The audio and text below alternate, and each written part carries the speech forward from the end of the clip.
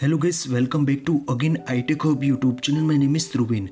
Here in this video, I will show you how to fix display glitch problem on iPhone 13, 13 Pro and 13 Pro Max after iOS 17.5.1 update.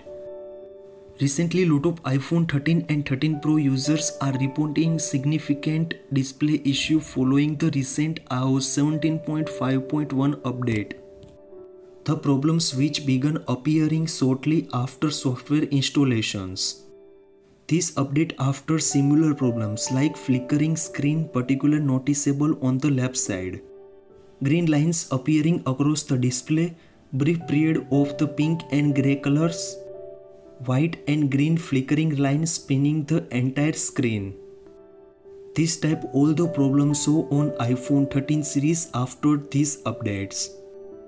One user's Apple's discussions my iPhone 13 Pro screen is glitch after iOS 17.5.1 update. The left side of the screen flickers and also sometimes show the green lines. Are you facing same problem on your iPhone 13 series? Now this question is what is the process for fixing this issue? Some users will attempt to resolve this issue by installing the beta versions of iOS 17.6 or iOS 18.